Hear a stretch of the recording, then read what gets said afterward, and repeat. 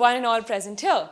Today, Sanvi Malhotra and I, Vanya Khanna from grade 11 of Suncity School. Wait, wait, wait. Where's Sanvi? Sanvi? Oh god, so sorry, Vanya, so sorry. Good morning, good morning, everyone. I was so busy blowing these balloons, I completely forgot about our presentation. This so is sorry, not so the time to play around, Sanvi. I'm not playing around, Vanya.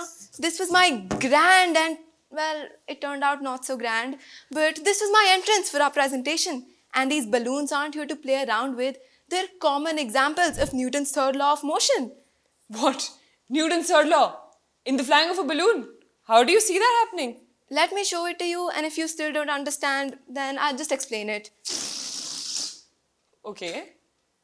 Still Let me just it? explain it. Okay, so what we just saw was when the air is released out of the balloon, it exerts a downward force. This downward force has an opposing reaction on the balloon, which causes it to move upward and twirl around in the air like it just did. Just look at it once again, and hopefully you'll get it this time. See? Oh, I, I get it now. I get it now. But what are you doing with that skateboard? It's not a skateboard, Vanya. It's a waveboard. And it is another really easy explanation of Newton's third law of motion. When I ride this waveboard, I push the ground in a backward direction. The ground then pushes the waveboard and me in a forward direction, bringing me into motion. Oh, I get it now. But you didn't really come into any motion there. You didn't even ride the waveboard. Okay, so action and reaction is easy, but the balancing part of the waveboard, not so much. Whenever I do try to ride it, I end up falling flat on my face. And while riding the waveboard is an example of Newton's third law, falling off of it, maybe that's to deal with the second law of motion. So let's not get into that. But let's pause for a minute. You said Newton's third law. I don't really remember the exact statement, but I remember from ninth grade that it's got something to do with action and reaction forces. God, Vanya, you don't remember anything. This is what online school does to people. Anyway, Newton's third law states that every action has an equal and opposite reaction, which you just observed in the balloon and the waveboard. See? Oh. Physics is really easy, Vanya. sure, that was a good one. Nice joke. Speaking of nice jokes, I heard an amazing one a few days ago, and you have to listen to it. Okay, so there was a sheep that was walking on the road, and Newton came across the sheep. Newton realized that to stop the sheep, he had to apply an external force on it, and that's when he derived the first law of motion. An object in motion continues to stay in motion until an oh. external force is applied on it. Nice joke. Wait, it's not over. Newton is a curious man. When Newton decided to see what would happen if he kicked the sheep, and you know, he did. And you know what the sheep replied with? Not really. Meh, F is equal to ma.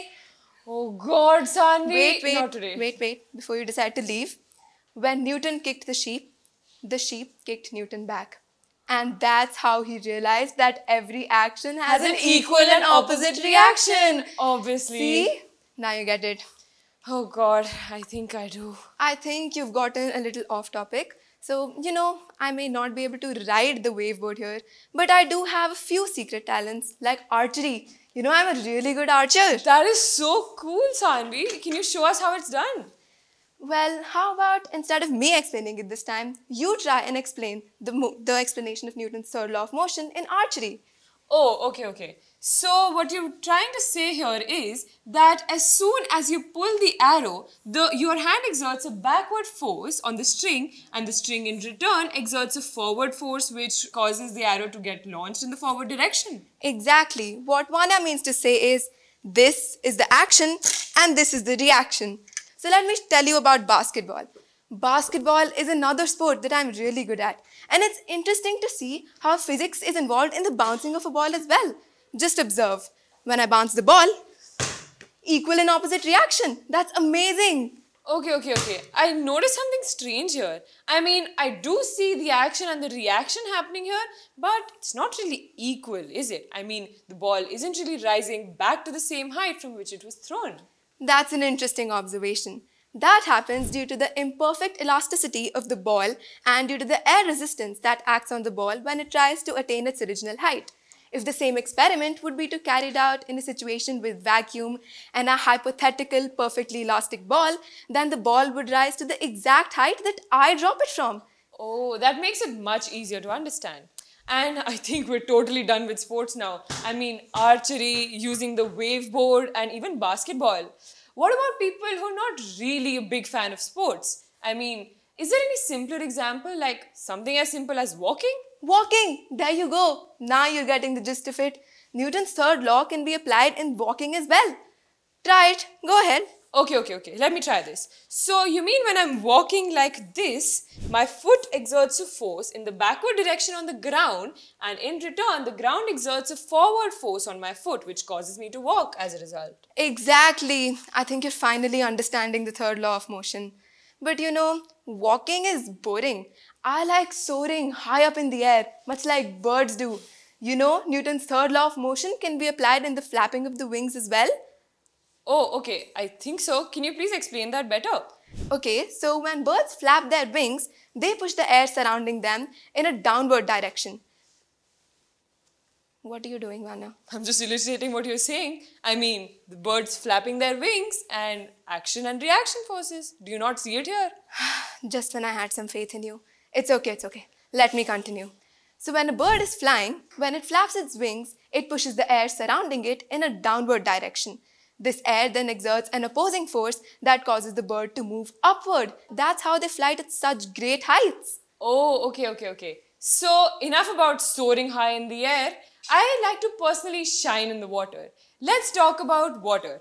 Have you ever seen a swimmer?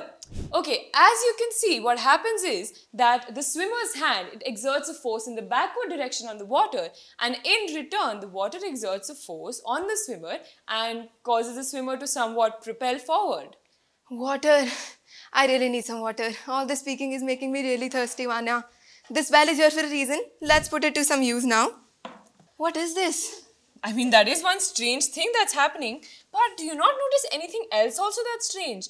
I mean, you're pulling the rope downward, but the bucket of water is as a result rising up. Why so? I think that can also be explained with surprise, surprise, Newton's third law of motion, and also this little pulley here. When I pull the rope downwards, that is the action. And look, did you observe the reaction? The bucket is coming upward, all thanks to the rotation caused by our pulley. Let's show Oh, again. Okay. Let's see the action and the reaction. and reaction. See, it's a beautiful process. Oh, I see it how. You know, Vanya, please remind me of H.C. Verma. Favorite book for physics ever. Do not get there, Sanvi. Not H.C. Verma again. His monkey questions have haunted me at 3 a.m. in the night for two years. Not again. Well, you can't be talking about that. I think the monkeys are back to haunt you, No, Vanya. Please don't. Come on, hold one. Okay. I know H.C. Verma has caused all of us to have some sleepless nights with his questions, but you gotta admit, his examples are really creative. Just see, here we have two monkeys, and one of them has a banana, and one doesn't. So you mean yours is the greedy one and mine is the lucky one? Yes, so if my greedy monkey wants your banana is attached to this rope, let's see how exactly he would go about it. Okay, um, how exactly do I get there? Audience, any suggestions? Maybe the monkey can try climbing up and going to the other side. Okay, that's a good suggestion. If the monkey tries to climb up, oh, do you see what happens? Due to the action of climbing up, the monkey on the other side is pulled upward. Action and reaction. Newton's third law is back at it, Vanya. That doesn't really help the monkeys. Oh, that's true. Hmm, what can we do? Oh, gravity. It acts on us all the time. Just let go of the monkey, Vanya. Let's try. Well, oh, so maybe they can now just fight on the ground for their bananas. well, I guess they're free to do so. God, move this well aside. The lack of water is pissing me off. I'm really sorry. Please just let me have some water. Excuse me, Oh, audience. Sanvi, you and your interruptions. Vanya, the mechanism behind this bottle is interesting. You know, how. No, no, no, Sanvi. Wait, wait, wait. It's, it's just drinking of water from a bottle. You can't get physics in there too. Vanya, trust me when I say physics is in everything. You know, the straw pulls the water upward. That reminds me of something we did in 10th grade, something about plants, something transpiration or something. We did do transpiration, but isn't, I mean, okay, Transpiration is directly related to capillary action and the ascent of sap. That's biology. This is a physics presentation. That's transpiration pull, silly. Transpiration pull and ascent of sap is what Vanya was trying to talk about with her capillary action fancy words. Anyway, before we get to capillary action, Newton's third law of motion can also be applied in the transpiration pull or the ascent of sap. When transpiration goes on in the leaves of plants, it generates a lack of water in the leaves, which is the action.